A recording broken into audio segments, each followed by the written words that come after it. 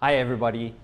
Welcome back to the Applied Information Show. Today, we've actually got quite an interesting subject. We're going to be talking about travel safely and the connected vehicle applications. And today, I'm joined by Sarah Mulligan, who is the product manager for Travel Safely, um, which is really exciting. Before we get into the interview and talking about all these different applications, um, I, I do want to mention uh, Zoom has uh, been having some troubles with uh, broadcasting HD quality. So what we've got is we also have this being rebroadcast on uh, YouTube. You'll see in the chat box, uh, there'll be a link for a YouTube link that Jessica is going to send through. So with that, I'm going to hand over to Jessica, who's got some housekeeping uh, for how we're going to do all the questions and everything like that. Hey everyone, um, welcome back to the IATL studio. Um, we are going to be doing Q&A as we go along. So if you guys want to use the Q&A button in the Zoom um, toolbox down there at the bottom, that is easier than just typing it into the chat. Um, and then like Peter mentioned, I'll be sending a YouTube link that you can access right now as well as later on um, if you need to leave early for any reason. Thank you, Jessica. So welcome, Sarah. Thank you. I'm excited to be here. Awesome, awesome. So, I mean, I know you've been involved with Travel Safely pretty much from the start. So, how about you tell us where actually Travel Safely came from? Where yeah. the idea came from? Yeah, so you may have noticed my last name, Mulligan. Uh, my Brian Mulligan is my father-in-law, and uh, he had been working in the traffic and transportation industry for years and years and years um, building companies. And he had this idea while he was on the banks of the Zambezi River on vacation, actually, um, to create a application, a safety application that was freely accessible to everybody. And he had this vision of the only way to move forward and to reduce traffic deaths and increase safety in our industry was actually to connect everything to everything. Um, and with that in mind, Travel Safely was born. That's pretty cool. So um, and, and, and I'm sure a lot of people that are connected here are, you know, they know about connected vehicle applications and, you know, all the different types of talks that have been going on, DSRC, C-V2X, and all these different things. Um, this was one of the ways that uh, as a company, as a platform, we could reach out to everybody instead of reaching out to a small uh, portion of the audience. Um, so what I wanted to ask you was, how has travel safely evolved from the very, very first deployment to kind of where it is now, three years later? Sure, yeah. It's, um, it's been really interesting to watch. The biggest thing has been the sheer number of applications. So what started as a smartphone in a car trying to talk to an intersection um, has turned into touching almost every traffic device that I can think of today. Um, so the sheer number of applications in the highways, on the cities, um, we have um, can, we have beacons that are connected into school beacons, uh, wrong way detection. Um, we have devices hooked into emergency vehicles. So now Travel Safely talks to all of those things. And what's really cool is it collects all of that data and saves it and stores it and pushes it out. So it, it connects the cities, it connects the highways to the private sector, it connects those to the government sector, and then from there, even, we can talk about this later, but it takes that information and we save it and store it for universities. Perfect. So, so actually what we'll end up, in other words, there's a whole bunch more than just traffic signals is what you're saying um, and that a city has so many different types of traffic devices. And, and that's not also including, you know, some of the devices like a pedestrian. I consider uh, it's not a device, but it, it's another application. Pedestrians, cyclists, all the vulnerable road users were actually the biggest increase in roadway deaths on the US roads and also actually in, in Europe has been vulnerable road users as well. Yeah, that's a huge segment of our user base actually, um, is people who are running the app on their phones and they're biking or walking, um, and it can alert them that there's a high-speed motorist behind them. They turn, they can look. Um, and we can actually save some lives with this technology of actually saving pedestrian deaths um, and cyclists um, as well because the, the app connects everybody to everybody. Perfect. So before we actually go on and talk about this forever, because I love speaking about it, of course, let's go and have a look at a, at a short video just to give everyone a bit of an idea of the kind of applications that we're talking about.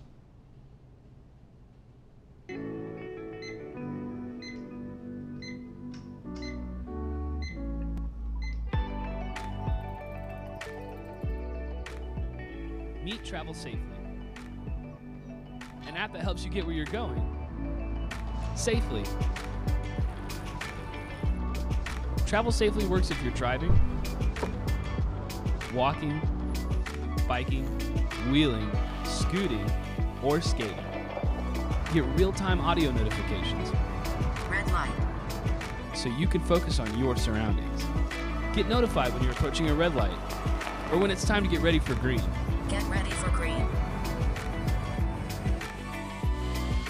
Travel Safely works with local emergency vehicles, helping them respond to calls faster. Get notified when an emergency vehicle is approaching, Emergency vehicle front. or when to share the road with your two wheeled friend. Cyclist. Vehicle approaching cyclist. Travel Safely tells you when you're passing a school or work zone, and if you need to slow it down. So whether you're on the road or just crossing, Pedestrian. Every time you open Travel Safely, you're helping make a better commuting experience for all of us. Together. Download the Travel Safely app today and join our community of users committed to making our roads safer.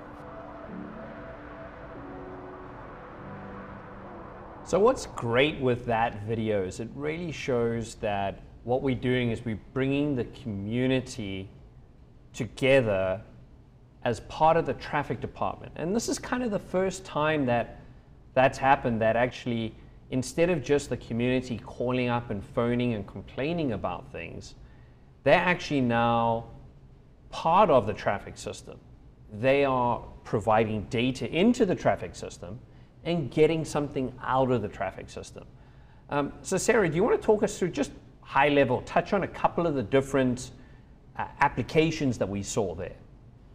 Right. Yeah. So uh, as Peter said, the, the travel safely community is what like, we like to call it. Is that it's actually bringing people together in this community where everybody is connected. Um, but we saw in there the emergency vehicle preemption. Um, and obviously, we have Glance and we have the preemption system there that's got our devices in those emergency vehicles. And that connects the emergency vehicle straight to the traffic lights. But what's really neat is it also connects that to our Travel Safely server. Um, so, Travel Safely will also alert cyclists, pedestrians, and motorists who are in the area beep, beep, there is an emergency vehicle behind you. Um, and this might not seem like a big deal to you because obviously they have a siren, but I've heard stories from disability users and things like that where maybe they're hard of hearing or in the deaf community. Um, and having a visual notification that there's emergency vehicle is huge for them. So, j- just before you go on there, when you said, you know, obviously there's, what are the kinds of notifications that we get there? Is it a, uh, you, there's audible, visual? Does the phone vibrate as well? Uh, yes, there's a vibration setting we can have, um, but uh, we have a audio. We, we designed the, au- the app as audio first, right? So our concept when we originally came up with Travel Safely is that everything would be broadcast through the speaker of the phone. Um, and so we have both the audio, we have the visual, and we also have some accessibility features uh, where these are upcoming and new for us, but we can actually shake the phone and dictate into the phone. So if you are um, if you're differently able and you need help typing things in, we actually have a shake to uh, inputs into the phone as well. Um, Wow.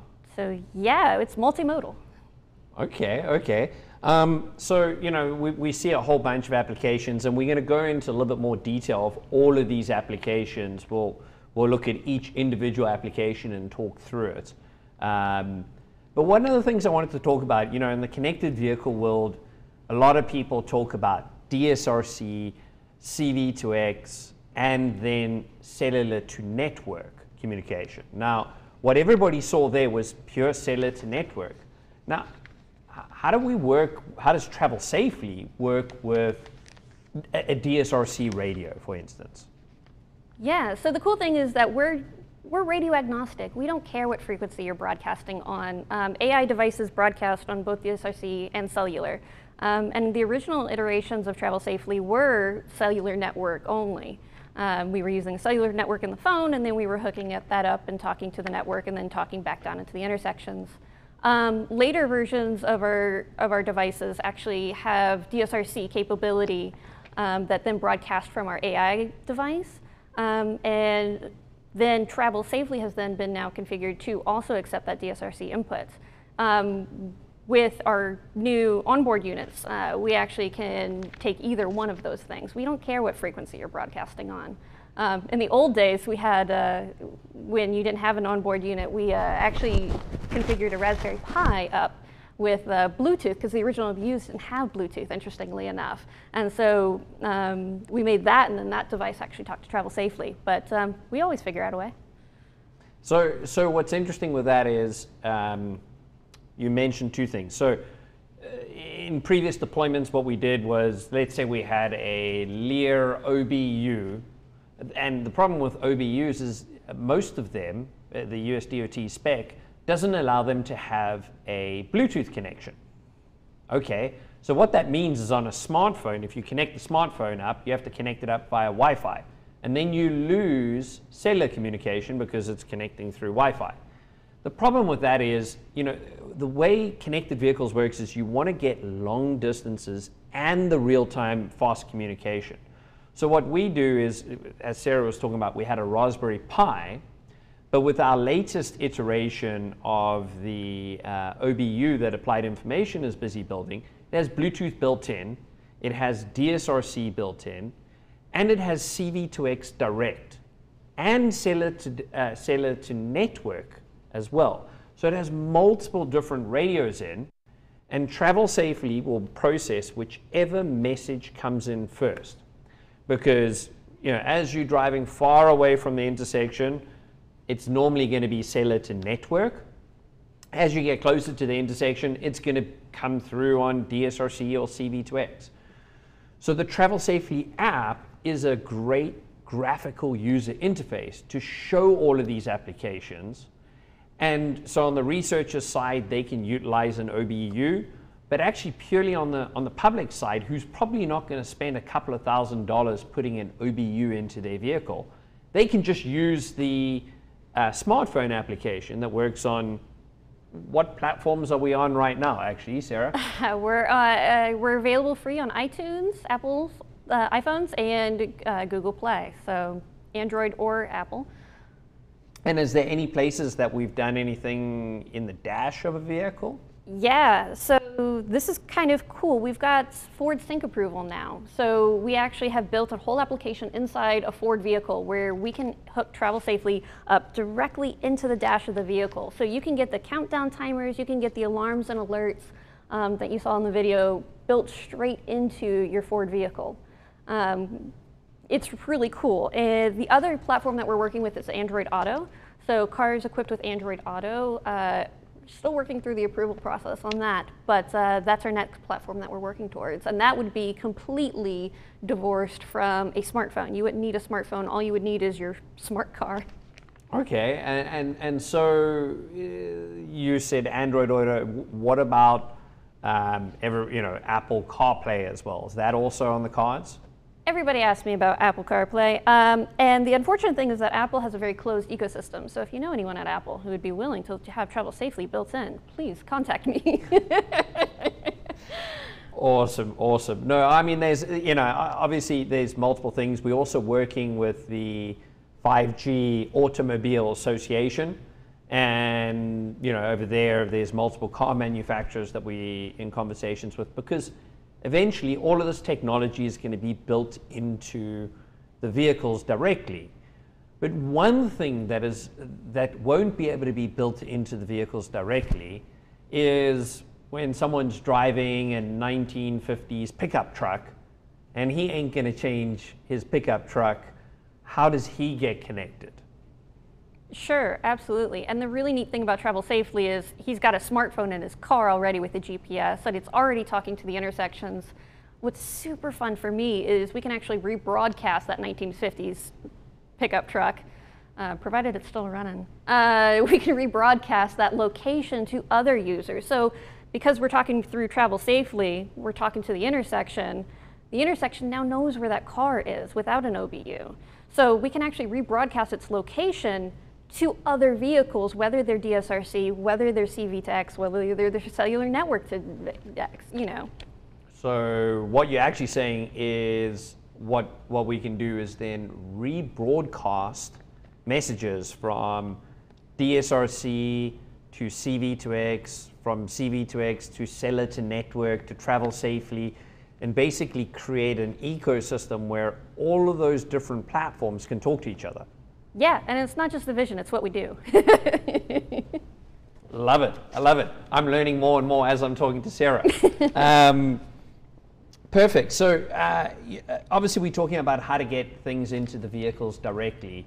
And, you know, we, we do see travel safely as a great stepping stone because we do believe all of this is going to be in the vehicle directly but there's always going to be the uh, cases of the old vehicles, but then also how do you deal with a pedestrian and a cyclist?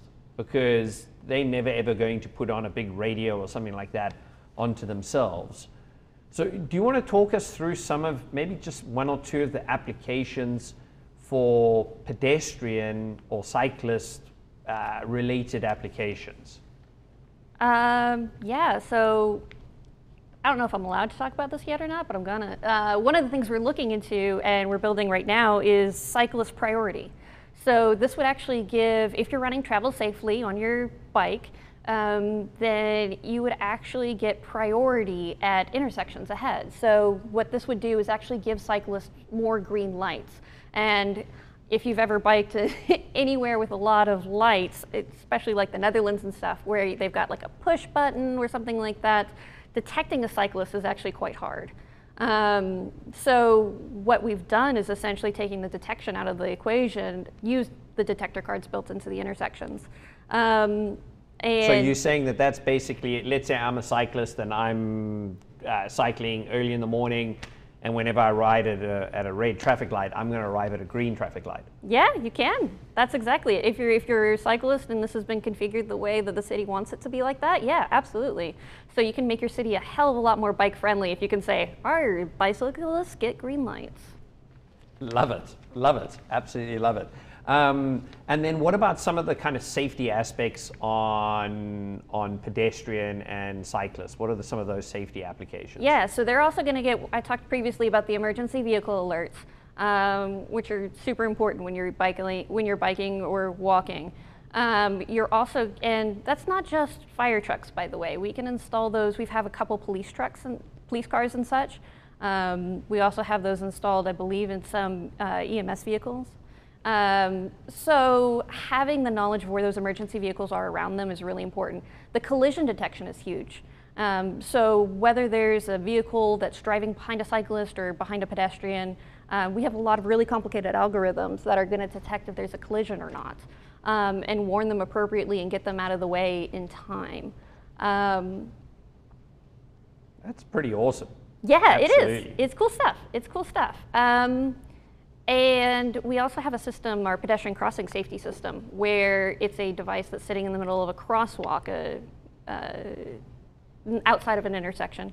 Um, and if the pedestrian has pressed the button, they don't need to travel safely necessarily to do this. But if the pedestrian has pressed the crosswalk button and the crosswalk is active, um, then the motorists will get an alert saying, hey, there's a pedestrian in that crosswalk. Some even have video detectors for if there's a pedestrian in a block or whether it's in the it's in the push button. Um, and then the car will actually go, bop, bop, there's a pedestrian in that crosswalk, watch out on your right. That's awesome. So uh, with pedestrians, so there's, there's obviously a bunch of different pedestrian safety technology. I know one of the other ones is for that we do a hell of a lot of, which is school zones, which is a high density of pedestrians at specific times of the day that we actually provide an alert then for the pedestrian, uh, for the vehicles driving in an area where school children are present. Um, now, one of the things that, you know, I, I don't generally deal with much, but, but what is it like, uh, in other words, dealing with the public directly? Because obviously this is a public facing app. How do we, you know, and was, I know you get a lot of calls and things like that coming in from the public, and also requests for new features and things like that. I do, I do. It's always fun to work with the public um, because you get a perspective that otherwise you wouldn't have. Um, you know, in the traffic industry, it's uh, it's the same old guys doing the same old things a lot of times. So you have this totally third-person perspective that is not always perfect, but it, it provides you a lot of feedback. The biggest challenge I have is education. Um, so teaching people where and how they can use travel safely. But once they get it set up, it's really special. Um, I actually had, this is one of my favorite stories, I had an 82-year-old gentleman in Marietta who had gone to all the city council meetings. And at one of the city council meetings, they were saying, oh, we've got this great new technology. Everybody go download Travel Safely. And so I got this email. It was super sweet from this 82 year old man who's like, I am interested in making our world a, a safer place. I want to download Travel Safely, but I can't figure out how to get past the login screen. And his problem actually was with the CAPTCHA that he was signing up the form with. Um, but I walked him through it on the phone and he thanked me and, you know, he got it set up with Travel Safely and now he runs around with Travel Safely on his phone um, in the city of Marietta. So a lot of it's education, a lot of it's teaching people, but a lot of it's also people giving us feedback on how they think traffic could work better. Um, one other instance is we had a gentleman who got an alert on his phone that the intersection was in flash, which was true. The intersection was down, um, so it's flashing the red lights. And uh, our alert had said intersection dark, or I think it was in intersection flash. in flash. It was treat as a four-way stop. It was intersection in flash, treat as a four-way stop. And the guy writes to us and says, um, excuse me, but it was actually flashing yellow, which means you should not have treated it as a four-way stop. You should have treated it as a proceed with caution. Proceed with caution. So with that feedback in mind, we actually changed the alarm because I was he wasn't he didn't have anything to do with the traffic industry. He didn't have anything to, he didn't go to city council meetings or he wasn't, you know, in, in, in a university. He was just a regular person running travel safely. So we've actually gotten some cool feedback. So uh, you're saying the app has evolved a lot from public feedback because I remember the very first version of the app said, uh, five, four, three, two, one, go. And now, obviously, uh, you did a whole bunch of studies with different uh, different groups where you changed the user interface to have five plus, ten plus. Do you want to talk through that process and, and, why it was done like that? Yeah, I keep a couple of screenshots on my desktop just to remind me where we came from. Uh, and it used to have Adam made them for us a long, long time ago. It used to have this beautiful little circle, and it would be like five, four, three, two, one, and the circle would slowly fill up based on when the light was going to go green.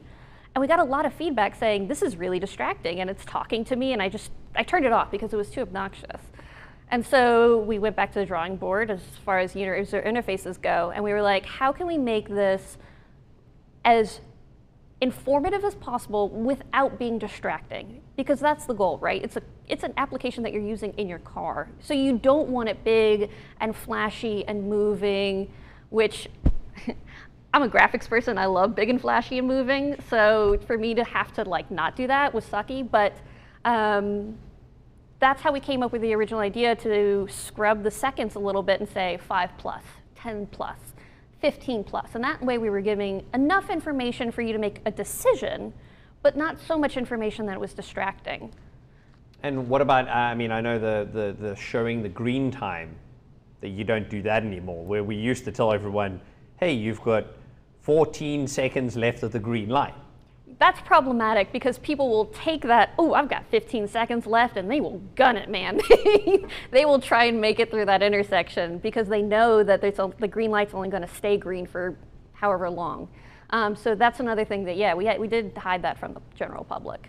So, you know, a lot of people talk about distracted driving. Um, and, you know, that's obviously a, a big issue. And you talked about it a little bit earlier about how you um, had Audible first. but uh, talk us through. Uh, you know, do I have to have the app open all the time in front of me? How does the app work? Right. So the idea is we want to give you enough information so that it will affect your decision making process. When is the light going to get ready for green? When am I speeding? So we want to give you enough information so that you can make an informed decision based on the traffic devices around you. Um, and with that in mind, we designed it that if you want to turn on travel safely, switch off your phone and throw it in your purse, you can. And you'll still hear from the depths of your purse going, beep, beep, speeding in school zone. You don't have to be looking, but we still want to provide you with that information. Um, again, if you're driving up to an intersection and the light's about to go green, it'll go beep, beep, get ready for green, um, which we found is the right balance of informative versus distracting. Um, obviously, we have the audit, we have the visual. Like I told you before, we have hard of hearing and deaf users um, who need visual cues. So by providing multimodal, I think I spoke to this earlier, by providing multimodal levels of alert, um, it allows for them also to have the information they need to make these decisions. Okay, so there's obviously and and And we reduce the visual clutter too. Like we don't want you to see big flashing. I think I spoke about this earlier. Big flashing arrows going red to green to yellow. You know, with fancy animations. We keep it very simple. We show you the green arrows and the red arrows, um, and obviously the alerts. So the app, you can run it in the background. Sure. Doesn't have to be in the. You can run Google Maps, Waze, whatever you want up there. Yep. But what about how does it? Uh, you, know, you said there's there's walking, there's cycling, and there's a motorist. How does it actually? Do I have to open up the app each time and click on a cyclist or or a pedestrian based on what I'm doing? Nah, we detect that automatically. So based on your speed, based on how fast you're going and what direction you're going, uh, we'll calibrate for you when you turn on the app and be like, mm, you're going 40 miles an hour. I'm betting you're not running that fast. So we'll actually calibrate based on your speed of, we think you're a pedestrian, we think you're a cyclist. And anyone can overwrite that. So like if I'm going cycling, I can just click on a cyclist if, If you're a really slow cyclist, then yeah, we can, we can make sure that. Thank you, Sarah. That's what exactly what I want to hear all the time. Is I'm a nice slow cyclist. but but if if the traffic signals gave me green lights all the time, that would help. it would, it would, it would be All right, great. that'll make me faster. So uh, now you're a, a statistic queen when it comes to you know all these statistics that come back from from travel safely. Can you share some of the things that that come back? Oh, I love data. Data is my jam. Um, I was actually a psych major back in college, so me and stats were tight. Uh, but um, so yeah, we were talking about like foreground versus background use, which is do you have the phone turned off, the screen turned off, and in your purse, or do you have it actually open to the app and mounted up on your dash? Um, and we actually found that 93% of our users actually keep it running in the background. So they have it either on Waze or Google Maps, or they have it completely turned off with the screen. Only 7% of our users are actually using it to watch the arrows and watch the countdowns, which is really interesting. That's Um, exactly what we want because that's the whole idea behind travel safely is to make everything safer for everybody and this is a great way of us actually making it safer. Bingo. Um, some other stats. So I pulled the stats from yesterday of who was using Travel Safely. Um, and we had people from Atlanta, Alpharetta, Johns Creek, Marietta, Odessa, Texas, Oahu, Hawaii, New Albany, and Orange County, Florida, all in a single day. So we've got deployments all over the literally. Yeah. across the country, and people are using it across the country. We've had 3,483 downloads on iTunes and 1,800 some odd downloads on Google Play. So we've we've got a decent reach as well, and a lot of that's localized. So we've got tons of users in the city of Marietta, um, and we've got a lot of users in the city of Atlanta. This is where we're located, obviously, but this is also where we have our deployments. Um, so yeah, those are those are some fun numbers. So we're talking about all this data and all the rest, and obviously we collecting this data and we're sharing it with other organizations. I know we're working with a couple of different universities, um, University of Florida and University of Alabama, and we're also working with Georgia Tech. Do you want to talk us through sort of some of the studies, maybe starting with University of Alabama, in other words, what they doing. Uh, everybody, if you if you join the show, you've already know about Dr. Alex Hainen, so we're just going to touch on this. He's a great partner of ours and done great things. So, Sarah, what do they do? How do they get this information? Yeah, so we call it the we call it the fire hose, where we're collecting all this data from the intersections, from the users, and we take that fire hose and we point it straight at the university for them to just consume and analyze, because that's what they're really good at. And in Tuscaloosa, which is where the University of Alabama is, we've actually installed several intersections um, as part of their connected vehicle project. Um, but what's really cool is they even have a visualizer, so they can actually um, jump on and look exactly where these travel safely users are. I believe it's a little interface where you can even see the little dots on the map going boop, boop, boop, which is really fun to look at. Um, but that allows them to give good decisions on green arrivals, like when you arrive at an intersection, is it green when you get there? Um, but it gives them just tons of really raw data that they can do lots of fun stuff with. They can change their timing plans. They can do all kinds of stuff with this data to let people know how people are using connected vehicle technology. And talk us through University of Florida. I know they did a couple of different studies, which are actually quite interesting.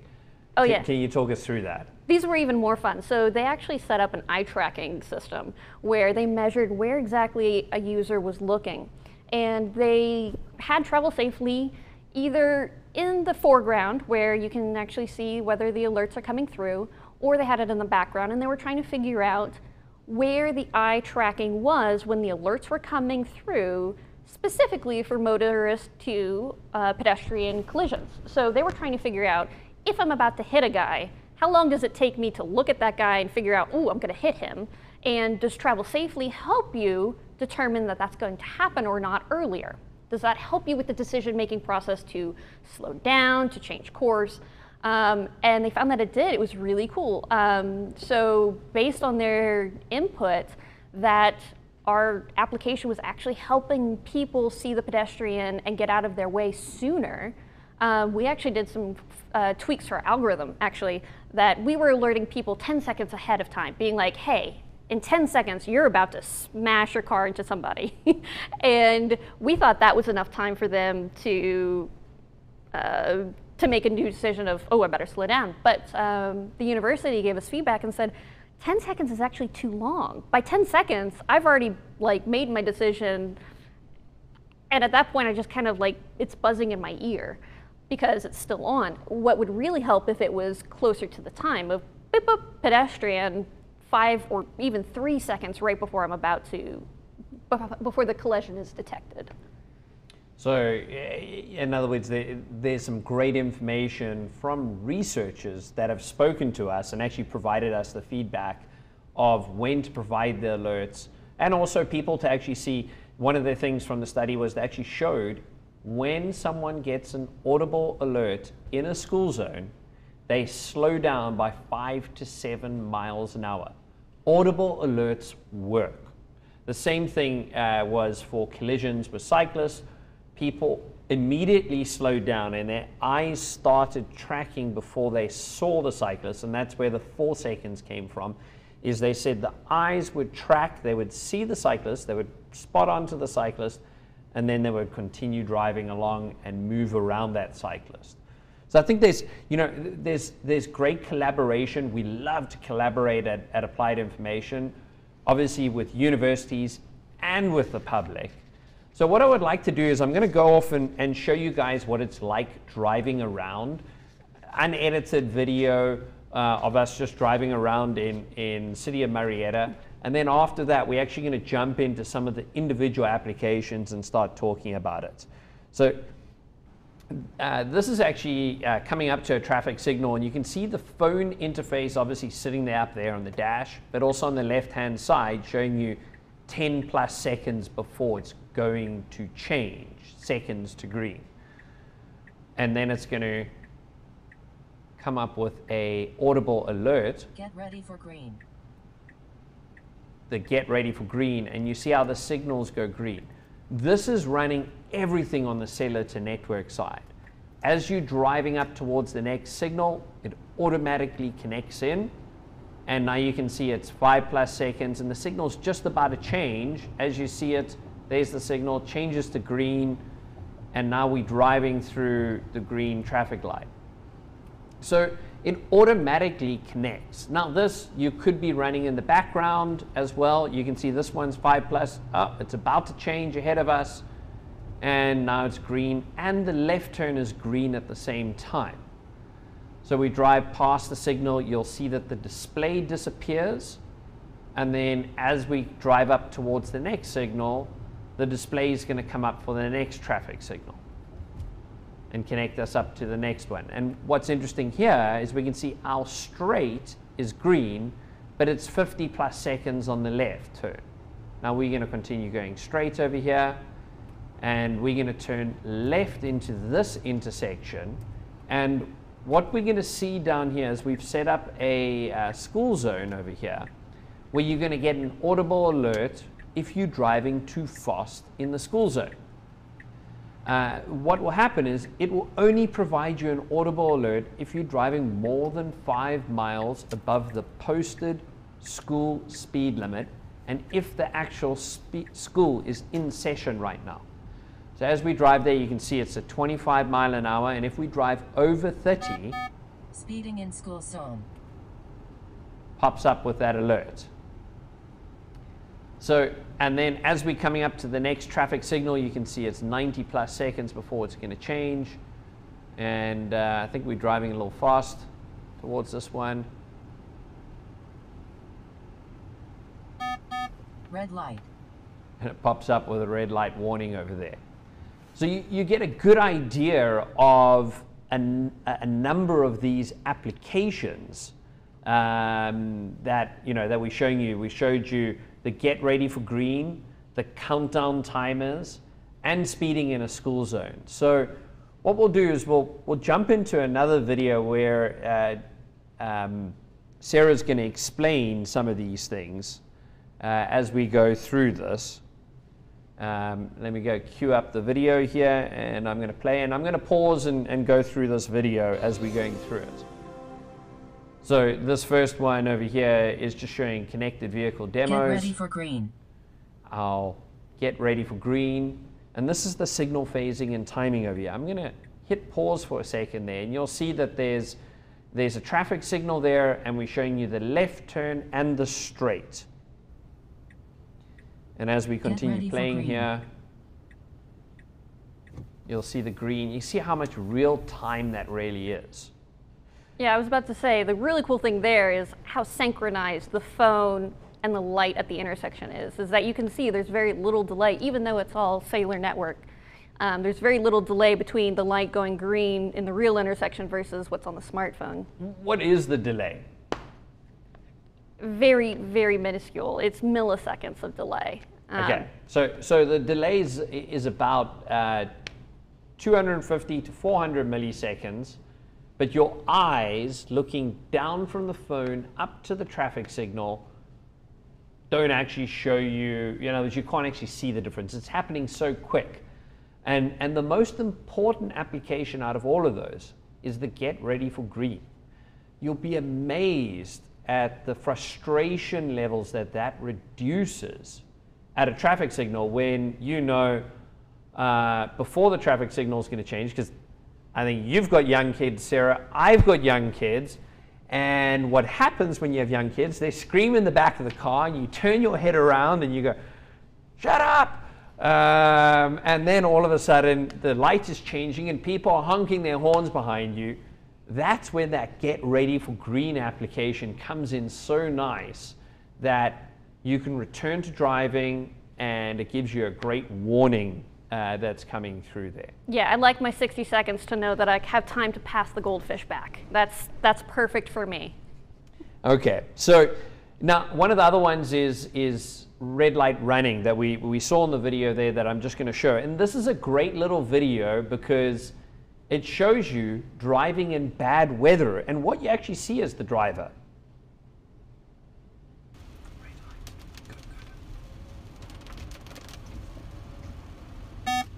Red light. And you can see that that red light warning over there comes through and provides you with enough warning that you can slow down, but doesn't provide you with a red light warning way out either. Exactly. Um, and we keep track of those alarms. So when that alarm gets logged, a beep beep red alert, red, red light alert, um, we actually save that information off. We randomize it every 10 minutes, so it's never traced back to you, so don't worry about that. Uh, but we do keep track of which intersections are getting the most red light running alarms so that we can know if there's a timing issue or if that intersection is in a curve or something like that where we might need to put another more signage saying light ahead and things like that. Um, so that's really helpful in terms of low visibility situations like you were talking about with bad weather. You know, you can be behind a truck and it's tough to see sometimes. Great point, great point, because that is actually something that happens a lot is visibility of the traffic signals is never perfect. There's a lot of times you're driving around a curve, bad weather, that you're actually having an additional, it, it's like, you know, someone said, to, said this to me, maybe it was Bryan Mulligan, uh, which was, this is the first time traffic signals have changed in a hundred years because traffic signal, you're not only using your eyes, to see the traffic signal, you're now using your ears. We're now using two sensors to actually interact with the traffic system. So it's a, it's a major paradigm shift when it comes to traffic signal operation because your body works on all the sensors and inputs we receive. Let's go have a look at the speeding in school zones. And this is another one, bad weather over here. You can see there was a signal flashing up there. As we drive in, you'll see the speed limit, which is 25 miles an hour. Speeding in school zone. And there's an alert that pops up, and you'll see here, there, if you look in the top left, you'll actually see the speed as we hit over 30 miles an hour. Boom, Speeding in school zone. the alarm occurs. So, you know, th- those are some of the uh, uh, pedestrian speeding or speeding in school zones is one of those ones that really, really has been effective for us. Um, we've had so many people reach out to us because, you know, when I'm driving in a new area, I'm so focused on where I'm trying to go, and sometimes I don't see the flashing beacons. This is a secondary warning system. And the great stuff is, you know, the University of Florida did a whole study and showed that people are slowing down by five to seven miles an hour. And we all know collisions with pedestrians, the slower you drive, the higher the survivability is. And the other important thing is it's only alerting you in two conditions. If the beacon's actually on, so you're driving by a school, but you're also driving by a school during the posted time. So you don't have like a sign next to it that says when kids are present or between 9 to 10 and 10 to 11 and 4 to 6. You know, so it, it's only alarming you when it's actually important to understand that there are kids present, that it's within those posted times, and that you're going over the speed limit. So both of those things have to happen for it to alarm. That's a great point because I- you know I think that's actually really critical because you don't want to warn someone when the warning's not necessary. And if someone's driving under the speed limit or just two, three miles above the speed limit, we're not going to do anything. It's only when they're driving more than five miles above the speed limit, posted in the school, and the beacons are on. Great point, Sarah. Um, The what- other thing I wanted to talk about really quick with the school beacons is the other point that we've recently introduced is uh, multi-language support. So, you know, we've talked about accessibility for everybody, you know, especially the public. Um, so now, if you don't speak English and you're driving through a school beacon zone, it will actually, based on what language your phone is in, it will actually alert you in your chosen language that you're speeding in a school zone. So we've got Spanish, Korean, Vietnamese, Afrikaans, Russian, uh, Hindi, and ooh, I'm missing one. Oh, French Canadian. Um, so a German as well. So we've got a number of languages that, if you're speeding through these zones, um, Travel Safely is actually going to alert you in your language. Wow. Okay. Second thing I've learned today, thank you, Sarah. Um, so, multiple different languages. So, in your community, obviously, there's lots of different people speaking different languages. And whatever setting their phone is on, then that means they're getting the alarm in their own language. Get ready for green in German or in whatever language it is. I, I'm, I'm not going to try to say that. Um, Okay, so one of the other applications that we've queued up here is pedestrian collision alerts. And pedestrian collision alerts are the same for pedestrians as well as cyclists. So you see there, far ahead, we get that bing ahead that there was a pedestrian about to cross there to alert us. And the pedestrian themselves also gets an alert that uh, there's a that there's a vehicle coming that's that's going to have a collision with him. So, Sarah, do you want to? uh, Should we? I mean, I know that the pedestrian alerts and the cyclist alerts are very very similar, but you also spoke about another pedestrian alert, which is, I know in in Gainesville, Georgia, you've been working on some of the stuff where uh, that's actually providing a an alert for when there's a pedestrian in the crosswalk. Yeah, so actually using the ITERIS detectors that are already in the in the intersection in Gainesville, um, the ITERIS detector is basically just a little camera. It's pointed at the crosswalk, and so it detects whether there's a pedestrian crossing the road. Um, that input then gets fed to our AI device, and our AI device will then tell travel safely and be like, hey, there's a pedestrian in this area. So as you're driving as a motorist using travel safely, if you come up to that intersection and there is a pedestrian sitting in that crosswalk going slow right in front of you, it'll go beep beep pedestrian ahead. That pedestrian does not need to have a smartphone on him. That pedestrian does not need to be using travel safely. It's being detected by the ITERIS detector built straight into the intersection. Um, Wow. And so not only does it alarm and go crazy when you're about to blast through the intersection and it detects that you're going straight ahead through that intersection and there's a pedestrian there, it also detects if they're going to be on the right or in the left. So if you're making a left, a protected left turn, or if you're making a right turn out of that intersection, it's going to let you know there's a pedestrian on your right, and it'll tell you it's on your right, it's on your left. So you know for that, I think it's called an en bloc, in block crossing, um, where that pedestrian is, and to slow down and to be aware.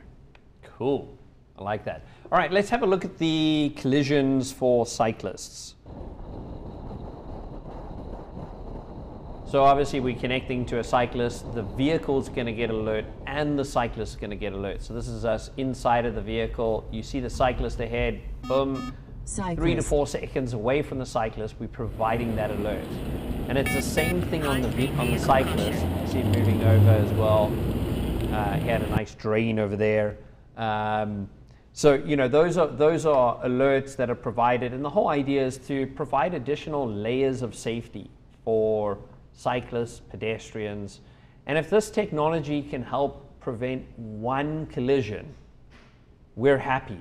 Um, you know, those these are things. The statistics of cyclists and pedestrians of getting hit by cars have gone drastically up, and it's really something that we're trying to do as a company to reduce these number of accidents. Yeah, there's a there's an initiative called Vision Zero, right? Where there's this idea of a future where nobody dies from an automobile accident, nobody dies as a vulnerable road user, um, and to get there, the first step is connecting up everything, and the first step is giving people more information and putting that information into the public's hands. That's going to be key. Um, we're not saying we're going to get there from, from just using travel safely. That's not it at all. But it is the stepping stone towards that vision zero that we are working towards.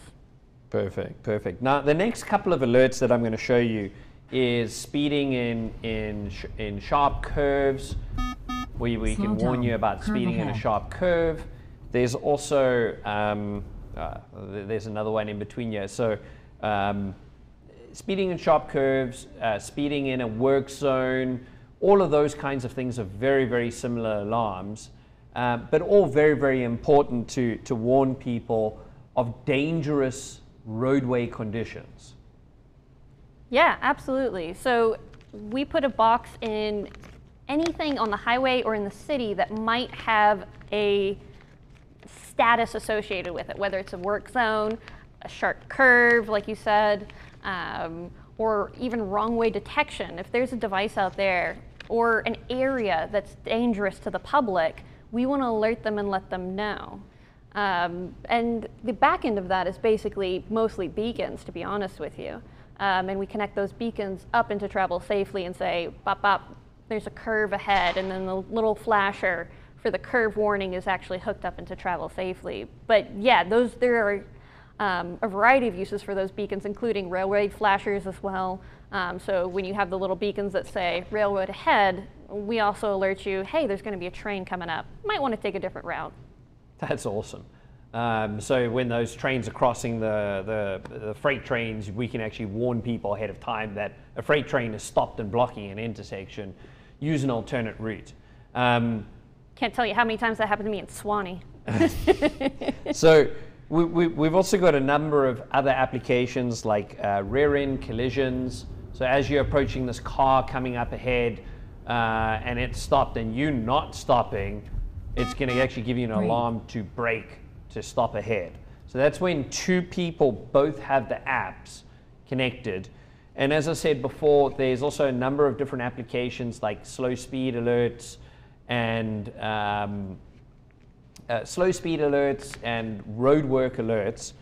What is important behind this is we can actually provide the slow speed alert at these areas where you're going to have um, you know, Speeding in yeah, you're driving zone. past a driver feedback sign and you're driving too fast. Slow down. Work zone speedings is another one of these ones. Um, if I jump back into this video over here, you see there's actually a work zone ahead. Um, and this is driving along Speeding in North Avenue. zone. Speeding in a, in a work zone, slow down. So there's a lot of different applications involved in all of these different um, in, in these different devices that get connected up. Important to note over here, I know Sarah was talking about, you know, we've got devices going into different things. Even when there is no device, we can also set up virtual zones, like a uh, virtual wrong way on ramp, or you're driving wrong way down a one way street. Um, so there's a lot of things that we can do to add layers of safety. We don't know all of those problems of where everybody has accidents in the city, but the city can let us know and we can create these safety areas for them within the city. Um, I, I don't know if that last slide had a DMS or not. I couldn't tell. But one of the other cool things that we do is uh, DMS enunciation. So that DMS is a dynamic message sign, uh, which is one of those big signs you see on the side, either on a highway or it can be a trailer uh, sign that's being hauled behind a truck with a sign that is. Oh, are you going to bring up something cool? I, I can show everyone what, what we mean by the by the DMS sign. So you'll see here, you know, this is obviously wet roads ahead. We'll actually enunciate the message that's on the DMS sign to the roadway user. Yeah, which is really cool. So as they're driving along, their phone will actually speak out loud, wet roads ahead, expect delays. Um, we use Siri speech to, or text to speech. So whatever you put up on that sign, we'll just go ahead and, and read it out loud using the phone's built-in feature. We had a fun one when we were in Marietta. They put up on their DMS Chalktober event. And Chalktober is a made-up word. It doesn't mean anything. It was a it was a fun event in the city of Marietta, and their DMS was ha- said that, and Siri got it right for the first time in forever. Uh, actually, read out loud to me Chalktober 2017. I was like, "Are you kidding me?" That's absolutely awesome. So there's another uh, number of different applications that we're doing on, you know, like flood warning. So if the roadway is flooded, we'll actually provide you with a flood warning message. Um, and, and then, you know, there's other applications, work zones for highways. You'll see that's the kind of work zone alert. Um, highway emergency response vehicles. So actually providing alerts that a highway emergency response driver is active ahead to provide that information to the road user traveling up ahead so that they get a warning that there's something happening ahead of them. This is the wrong way applications that we were talking about, where we actually provide two alerts one for the person driving up the wrong way on the, uh, in the wrong direction, and also for the driver on the freeway for doing, uh, you know, for driving in the wrong, wrong direction. Um, we've got about five minutes left. Jessica, I wanted to check in if, if, if we've got any kinds of um, questions that are coming in. All right, Jessica, over to you. Yeah, so Um, you guys were talking about um, all the different deployments that we have um, around the country, and someone is asking Would you suggest that a city markets travel safely to their citizens if they only have a partial deployment of the intersections within their city? That's a great question. Um, we've, you know, we've got a number of cities that obviously have a partial number of intersections connected. You know, there's a lot of easy ways of going out and getting the message. Applied information will help. We'll get people involved uh, in terms of, uh, we've got a fantastic communications director called Bill Wills, who um, is able to get connected with the, um, the media and also, you know, ways of getting it out on your social media and things like that. Because what ends up happening with travel safely is it drives it through to the um, you know, to the mayors, to the citizens, and to um, you know the, the the council members that they then assign hopefully more money for your city for the traffic department to go out and get a complete deployment. So my view would be absolutely yes. Market it out. You don't have to do something too big, but you're going to get a number enough people online that they're going to drive the demand for the traffic department and to the mayor and to the council members that you'll end up getting that need for people to jump in. I'd also just like to add that uh, we have a marketing pack. One of my hats at Applied Information is marketing.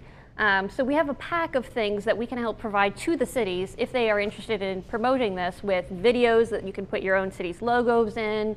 We have got printed brochures and materials. We've got help articles and things to help get the public educated. So we've got lots of tools out there. All you need to do is just reach out and chat to me. All right, I'm going to see if this works. Uh, it, it might not work. Bill, you're going to have to let me know if this is working. This is uh, going to see if I can play a video that you talked about earlier which is a, um, uh, it's, it's actually a cyclist detection and one of these new features that's coming out. And you'll see here, there's a cyclist approaching a traffic signal and it could, and it's 60 seconds before the signal is going to change. So you see the signal's red there. And as the cyclist is coming up to the signal, we're going to look inside of the traffic cabinet and we'll see there boom, something changes. And you see how the time changed there from 30 seconds and then get ready for green, and the signal's going green. This is a way that actually cyclists are going to travel along and get green lights by us connecting directly into the traffic signal to actually get that information. It's the same thing we're already doing right now with vehicles to actually get, you know, when, when you're driving late at night and the traffic signal's red. You and there's a bunch the of devices. Signal, and guess what? You wait another 10 seconds as you stop there before it goes green. It, with the Travel Safely app, you can actually get a green light before you have to stop. And I think that's really exciting where we're really connecting in with the traffic, uh, with the actual people and the public now. So that's where the real exciting thing comes from. And it's a point of pride for the city, saying that we are the most bicycle friendly city. We promote the health and wellness of our cyclists and we promote cycling in our community. Absolutely love that. Um, so we've only got about a minute left. Uh, Jessica, I don't think there are any more questions. So I want to thank Sarah for joining me today. It was fantastic. The time flew by. thank um, you for having um, me. And I think, you know, th- there's a lot of different things uh, happening in the industry. This is one of those exciting things. Um, what I do want to say is next week we're going to be doing another great session uh, with uh, uh the City of Atlanta and Kerry Lord that's going to be speaking to us. So please sign up for, uh, for that session.